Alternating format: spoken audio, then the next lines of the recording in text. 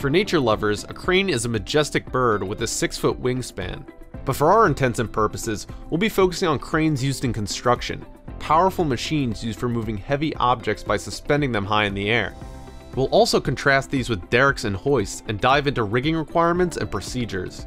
The Occupational Safety and Health Administration, or OSHA, defines types of cranes in Standard 1910 Section 180. Let's briefly discuss the crawler crane, locomotive crane, truck crane, and the wheel-mounted crane. A crane has a boom with a rope attached to a grapple, hook, or magnet used to grab and move objects. A crawler crane consists of an upper area that includes the crane and operator carriage mounted on a crawler-type bottom similar to a moving belt.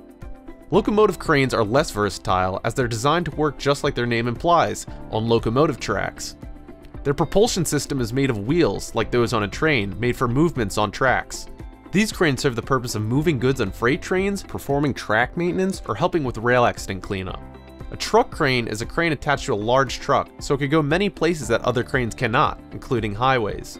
This allows the easy transporting of materials from one site to another. Wheel-mounted cranes are similar to truck cranes as they sit on a base of wheels. However, the crane and operator areas look more like the other cranes. They're generally four-wheel drive vehicles that can move through unpaved and rough terrain areas with ease, meaning less site prep. So what about that difference between cranes and derricks I mentioned? Well, unlike a crane, a derrick has a vertical stationary mast attached to a fixed base.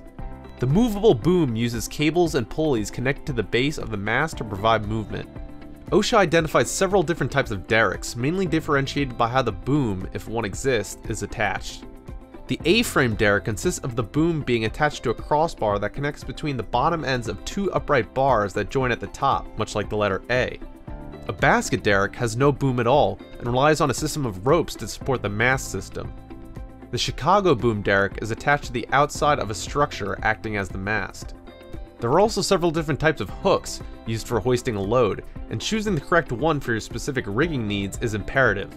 For instance, in the picture shown here, a non-locking hook is being used. This type of hook is only an acceptable option when the load poses a risk to the workers should they have to unlatch the hook before releasing the load. Unless this hazard exists, a latching hook, like the one pictured here, should be used. Whether you're dealing with a crane or derrick, certain precautions need to be taken to ensure the safety of those working with them, so let's review those next.